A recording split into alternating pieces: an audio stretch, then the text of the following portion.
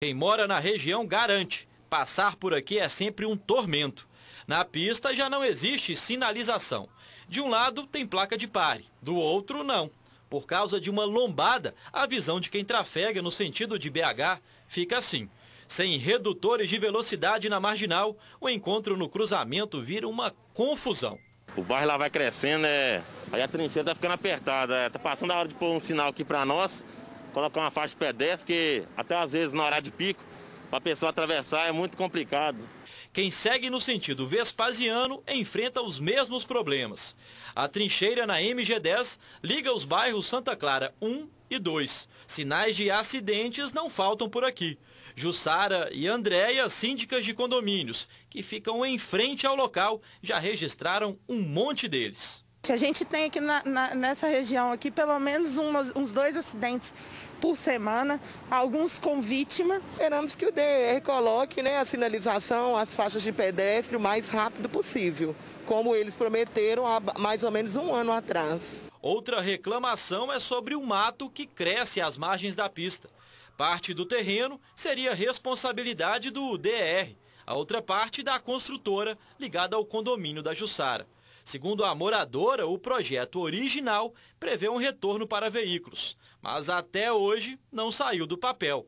Enquanto isso, até cobra está invadindo a garagem dos prédios. Os animais, bichos peçonhentos, eles saem aqui da mata, né, e buscando fuga e esconderijo, eles entram para dentro do condomínio também. Além do que, é, pessoas também se escondem aqui dentro desse, desse mato, né? É, gente, está na hora das iniciativas aparecerem, né? Porque se fosse um local onde tivesse surto de Covid, estava tudo limpo, estava tudo higienizado, tinha 600 pessoas tomando conta. Se fosse um local tinha semáforo, tinha faixa zebrada, tinha tudo. Tá vendo? Enquanto isso, o vírus da corrupção assola o nosso país com 1 bilhão e 480 milhões de reais. Dinheiro que daria para consertar isso aqui colocar um semáforo, faixa de pedestre, como o DR prometeu para as pessoas daquela região. Né? O DR informa que elabora um projeto para reforçar a segurança na via lateral da MG10. Assim que essa etapa for concluída, o departamento vai fazer uma manutenção na sinalização. Vai fazer manutenção ou só vai executar o projeto? O senhor vai fazer. O DR informa que está fazendo um projeto. E que assim que terminar o projeto vai fazer a manutenção. Mas é... Mo... Tá entendendo, assessoria? Ajuda o Stanley aí, fazendo um favor. Vocês estão fazendo o projeto e vai executá-lo depois de fazer? Ou vocês vão fazer o projeto, gastar dinheiro com isso e ir lá fazer uma manutenção para poder gastar mais dinheiro com isso? Uhum. Ah, me ajuda aí, rapaz. E o governador vê isso aí e não toma providência nenhuma, não? O governador, manda esse cara embora, o DR. Fiz. Eu, hein?